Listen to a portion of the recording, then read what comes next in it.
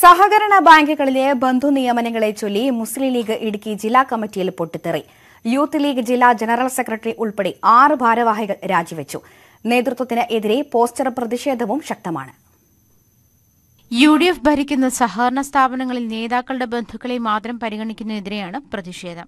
League സംസ്ഥാന secretary T M സലീമിനെതിരെയാണ് പ്രവർത്തകരുടെ പരാതി. തൊടുപുഴ കാർഷിക വികസന ബാങ്കിലെ ഒഴിവുള്ള തസ്തികയിലേക്ക് ടി എം സലീമിന്റെ മരുമകനെ നിയമിക്കുന്നതിനുള്ള നീക്കത്തിനെതിരെയാണ് പ്രതിഷേധം. മുപ്പത്തിമൂവായിരം രൂപയിലധികം അടിസ്ഥാന ശമ്പളമുള്ള തസ്തികയിലേക്ക് മരുമകനെ സ്ഥിര നിയമനം നടത്താനാണ് നീക്കം. മുൻ D C C president Roy K Paulose പ്രസിഡന്റായുള്ള ബാങ്കിലെ നിയമനങ്ങൾ നേതാക്കളുടെ നോമിനികൾക്ക് മാത്രമാണ് നൽകുന്നതെന്നും ആരോപണമുണ്ട്. യൂത്ത് ലീഗ് ജില്ലാ ജനറൽ സെക്രട്ടറി ഉൾപ്പെടെ ആറ് ഭാരവാഹികളാണ് സംസ്ഥാന പ്രസിഡന്റ് പി കെ ഫിറോസിന് രാജിക്കത്ത് കൈമാറിയത്. കൂടുതൽ പേർ രാജിവെക്കുമെന്നാണ് സൂചന. യൂത്ത് ലീഗ് പ്രവർത്തകർ വ്യാപകമായി പോസ്റ്ററുകളും പതിച്ചിട്ടുണ്ട്. നിയമനത്തെക്കുറിച്ച് അന്വേഷിക്കണമെന്നാവശ്യപ്പെട്ട് മുഖ്യ ഇദ്ദേഹം തന്റെ വീടിന്റെ ടെറസിൽ പച്ചക്കറി കൃഷി ചെയ്യുന്ന ഒരാളാണ്. അതിൽ നിന്നും മാസം തോറും അൻപതിനായിരത്തോളം അടുത്ത് സമ്പാദിക്കുന്നുമുണ്ട്. ഇതെങ്ങനെയാണെന്ന് നിങ്ങൾക്ക് പഠിക്കണോ? എങ്കിൽ ഈ ഫ്രീഡം ആപ്പ് ഇപ്പോൾ തന്നെ ഡൗൺലോഡ് ചെയ്യൂ. മുഖ്യമന്ത്രിക്കും സഹകരണ മന്ത്രിക്കും പരാതി നൽകിയിട്ടുമുണ്ട്. News eighteen Thodupuzha.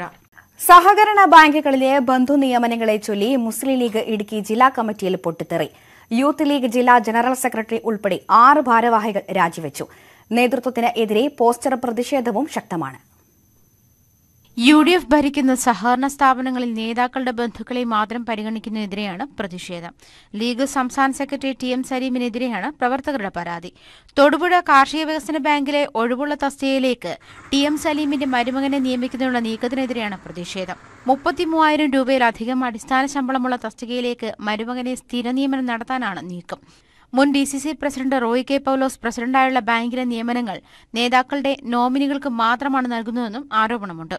Youth league ജില്ലാ ജനറൽ സെക്രട്ടറി ഉൾപ്പെടെ ആറ് ഭാരവാഹികളാണ് സംസ്ഥാന പ്രസിഡന്റ് പി കെ ഫിറോസിന് രാജിക്കത്ത് കൈമാറിയത്. കൂടുതൽ പേർ രാജിവെക്കുമെന്നാണ് സൂചന. യൂത്ത് ലീഗ് പ്രവർത്തകർ വ്യാപകമായി പോസ്റ്ററുകളും പതിച്ചിട്ടുണ്ട്. നിയമനത്തെക്കുറിച്ച് അന്വേഷിക്കണമെന്നാവശ്യപ്പെട്ട് മുഖ്യമന്ത്രിക്കും സഹകരണ മന്ത്രിക്കും പരാതി നൽകിയിട്ടുമുണ്ട്. News eighteen Thodupuzha.